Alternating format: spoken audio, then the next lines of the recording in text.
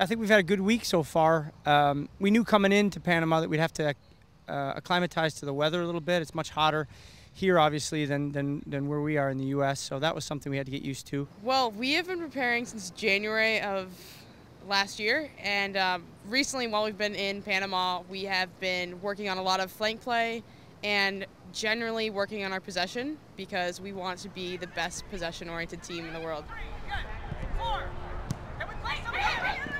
Our team has been doing a lot of uh, crossing and finishing, which is going to help us a lot with our flank play and you know just getting a lot of players in the box. And um, we've also been doing a lot of possession work, which is good for in the middle of the field when you know things are clouded and you know there's a lot of players moving in and out. So we, we've done a good job of kind of preparing to keep the ball in the middle. Yeah, our team looks ready. We look ready for the first game. We're all excited. We're in Panama.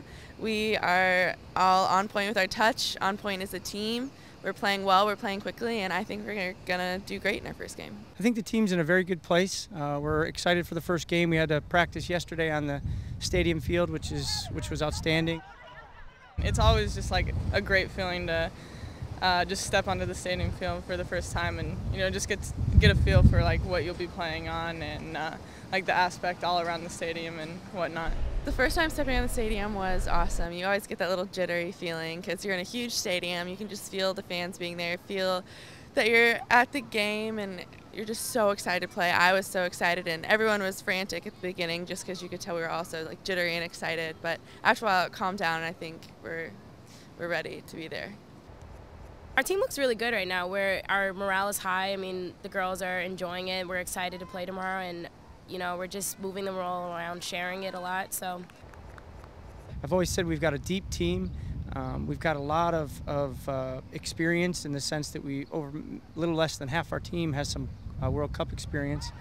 And I think we've got a pretty versatile team too. Got, we've got some players who can play a number of positions. So we like where we're at, but uh, we, we know five games in the short amount of time that we have to play is going to be challenging. So um, you know, we're going to have to be ready and we're going to have to uh, be smart what we do in between these games.